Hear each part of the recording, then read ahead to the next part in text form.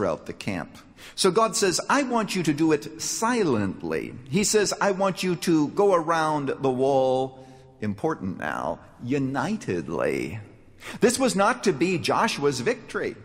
This was not to be the victory of one person. Now, God could have spoken the word. The man with the sword drawn in his hand, as we noticed last time, could have spoken the word. The walls could have collapsed without them going around at all. And of course, uh, God could have given the victory to Joshua. Listen to me very carefully. There are few battles that you fight in life that can be fought alone. Some, but few. There are some of you who are facing personal walls that you will never get around, over, or through until somebody comes alongside and you begin to pray together and you begin to yield together. Even though we've got the promises, God says to apply the promises, there must be a sense of unity and togetherness. In fact, there's a verse in Colossians that says, if you want to enter into all of the inheritance that you have in Christ, I'm paraphrasing now, your hearts must be knit together in love. You can't do it alone. Now, that's true personally for those walls that we want to scale. You can't do it alone. Some of you are in a pit, and you can't dig yourself out of the pit alone. We can't do what we as a church want to do unless we do it unitedly. But here's the point God will make sure that we will not do this unless we do it together. But number two, even if it were possible, I wouldn't want it to happen that way. I wouldn't have wanted, if I would have been Joshua, to say, well, you know, why should everybody go around the walls? Why don't we just have a few people go around the walls and they could sort of represent everybody else? Let Joshua and the mighty men do it. No, let the women and children be involved and let everybody be involved because remember, there are few things that can be done personally or corporately that can be done alone. Maybe there are some, but there aren't many. So they did it unitedly. Helplessly, patiently, silently, unitedly, dare I say, thank God, triumphantly. Now we pick it up in verse 20. And of course, they went around the walls. When the trumpets sounded, the people shouted. And at the sound of the trumpet, when the people gave a loud shout, the wall collapsed, so that every man charged straight in, and they took the city. And they devoted the city to the Lord and destroyed with the sword every living thing in it men and women, young and old, cattle, sheep, and donkeys.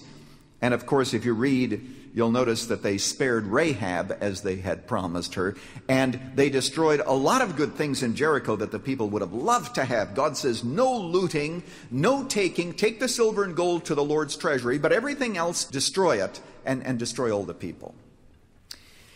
Now, many people read this and they say, I can't, I can't take it in. I mean, what kind of a vicious God is this? So much so that the older liberals, used to think that there were two gods, the God of the Old Testament and the God of the New Testament. Well, you know that several months ago I preached on the topic of whether God is more tolerant than he used to be. And we showed conclusively that the same God in the Old Testament is the God of the New, and furthermore, the judgments of the New Testament are far more severe than the judgments of the Old Testament. All that you have to do is to read the book of Revelation to realize that. What was God saying in this context? This now is from my heart to yours, as everything is. Sin is contagious. It's contagious. It spreads like disease. It spreads like the flu. You begin to have contact with these false gods over here, you begin to compromise with these people who were exceedingly evil into every imaginable form of sexual perversion, into occultism and the whole bit. God says, I want you to destroy the enemy because there can be some things in which there can be no compromise. It's hard. But you read the book of Revelation and you discover judgments. Now, of course, the children, we believe, in this context would have gone to heaven. But the simple fact is that God is saying, God is saying, you cannot compromise with sin. It, you know, I don't know about you, but whenever I try, I always think to myself, well, I can compromise with this. And what God keeps telling me is, and showing me conclusively, that it's impossible. Yes, my friend, the older I get, the more I realize that God really does desire that we be holy. This is Pastor Lutzer. And you and I have had the experience of becoming involved in some sin, taking some lust, some desire that we want to hang on to, and it contaminates. And later on we regret it because we know that we have grieved the Holy Spirit of God.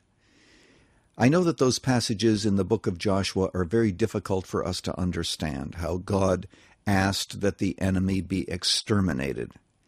But God was saying in the most clear terms imaginable that if you allow them to live, you'll end up worshiping their gods, and you will know that sin has entered into your camp.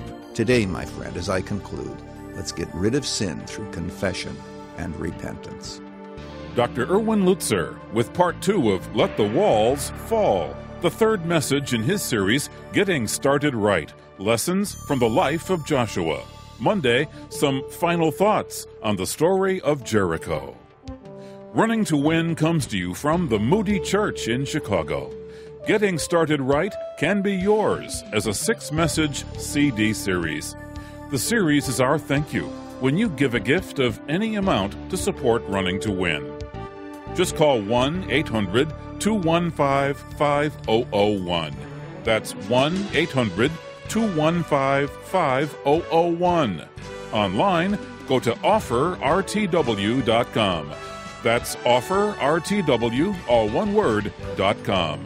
Or write to Running to Win at Box 11174, Chicago, Illinois 60611. This is Dave McAllister. Is there a Jericho in your life? If so, don't miss the Monday edition of Running to Win.